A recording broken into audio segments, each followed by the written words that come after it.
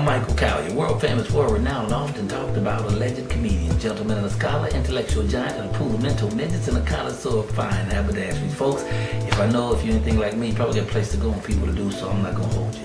Let me get right to the point. I'll be here doing all kind of comedy for you. I'll be talking about motivational things with you.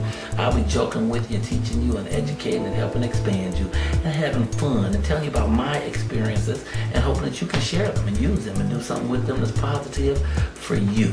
Here at this newspaper, we collaborate as a family because with us, you are family. So have a great.